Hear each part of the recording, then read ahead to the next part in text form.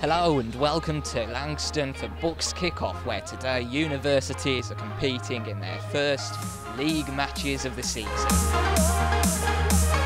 Here is football with Portsmouth versus Sussex.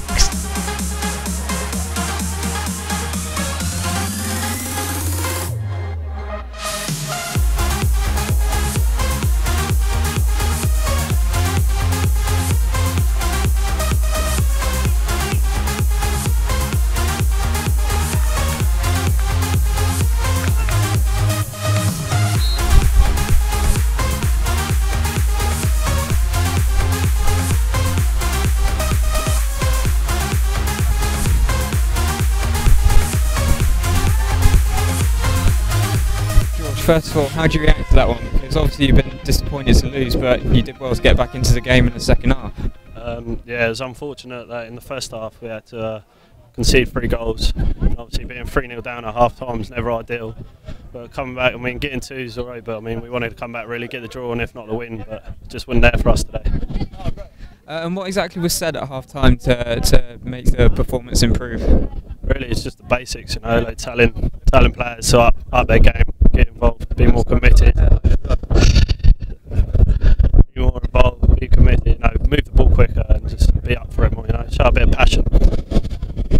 And uh, there was a red card, it was pretty late on, but how do you think that affected the way the, the game ended? Uh, well, obviously, yeah, it was late on. I mean, it didn't really have much effect. It didn't really affect us in the end because where it was so late, we were just knocking the ball forward and going on the attack anyway. So, no, no effect. No effect. And, uh, and just finally, what's your next game and how are you guys going to be preparing for that one? Oh, Obviously, just back to training, back to square one. You know, getting getting everything done properly, and just knuckling down and going from there. Really. Thanks very much for that. Cheers. So here we have hockey with Portsmouth versus Kingston.